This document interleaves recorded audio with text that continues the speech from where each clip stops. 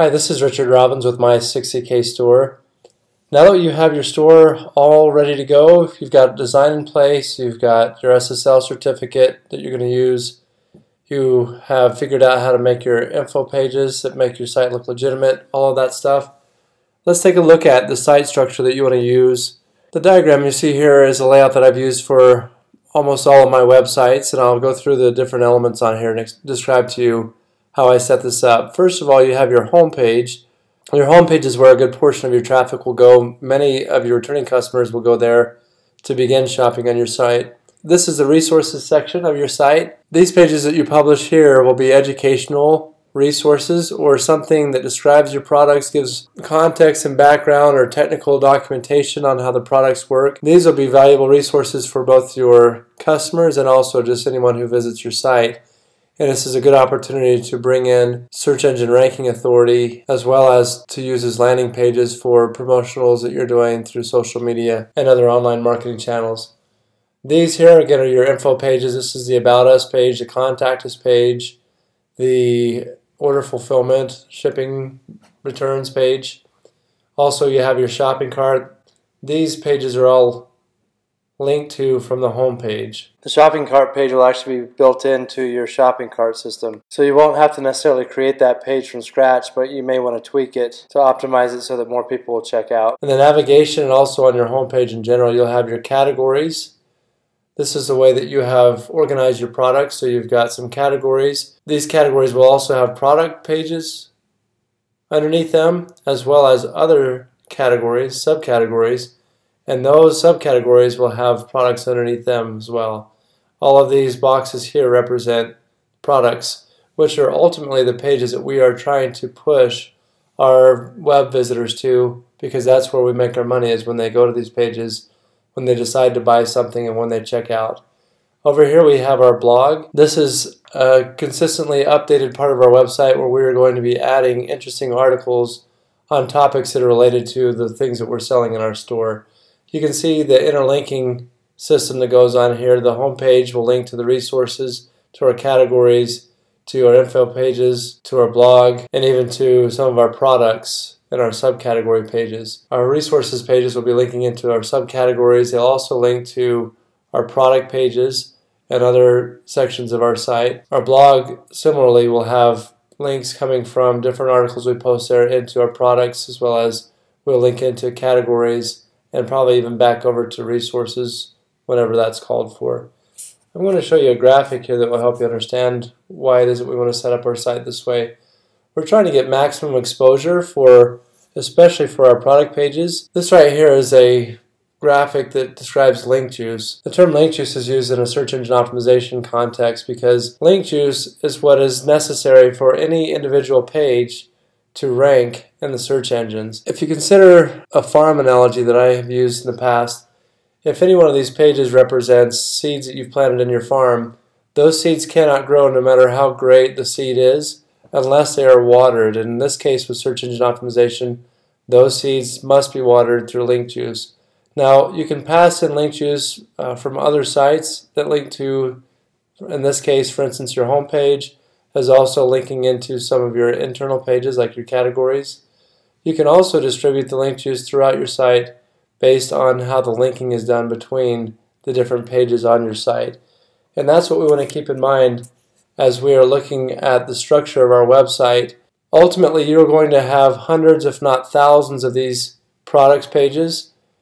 And we don't want any of these things to get lost in the shuffle, meaning that we don't want to have any of these orphaned or stuck out there to where they're not getting any sort of link juice going to them. If we look at what Moz recommends uh, for site architecture, we can see a concept here that's useful to understand. This box represents authority and it, it goes down the further internal to the site that you get. So in this particular diagram, you have these pages here that are one, two, three, four, five, six clicks away from the home page. The most authoritative page for a website is typically the home page.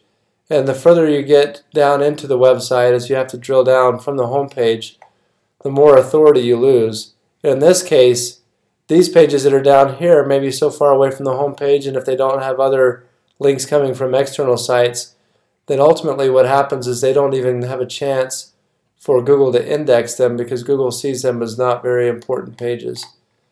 You look at this architecture instead, this is closer to what I've shown you with my own site architecture diagram. If these are product pages here, they're only one, two, three clicks away from the home page. And so it's like watering your farm and making sure that the water trickles down from its source to the elements that need it to, in order to be able to thrive. That is how we're going to set up our website. That's the architecture we're going to use to make sure that every single page on our website has ample opportunity to rank high in the search engines and also that the site is coherent, it integrates well, and provides a good shopping experience for the people that visit our store. Let's walk through a little example of how this website structure would roll out. This example is for OnlineSafetyDepot.com. I'll show you one of the products that I sell. It is this hook with ANSI gate. It's a kind of carabiner. That's what it's under here is Liberty Mountain is a manufacturer. That's a carabiner that they make. The product description here shows that this product meets these two standards, the CE EN 362 and ANSI Z359. I don't know what these two standards are exactly, but I'm pretty sure that I can use this information to help me market this product. The strategy here is to publish a product page on our site that advertises this product and also to publish some pages that provide technical support and resources that are related to the product. If we go back to our diagram here, we can publish that product under one category that we'd call fall protection equipment. And under the fall protection equipment category, there would be subcategories including fall protection carabiners. We can publish this carabiner in each of those different categories. Then we can, under our resources section, publish a page about ANSI Z359.107. We can explain why it's important for safety standards and what it applies to. We'll have to do a little bit of research on what that is and be able to write an article that is engaging and useful. Also over here, I just did a search on Google for, I'll go back and show you the search I just did a search for construction worker fall, and I see this article published about three hours ago from the Sioux City Journal that says that a construction worker was injured in a fall and he's in critical condition. And it mentions in here that his safety harness failed. And so on my blog, I can actually go and I can write a summary of what happened in this case. I can explain what causes safety harnesses to fail and I can include any other information there that would be useful for people in the safety industry. And I can provide a link from that article over here to my carabiner page. But you can see here then how these all fit together. You have a, a product you're trying to promote. You have two different categories that serve as landing pages for that product, or which give people access to that product.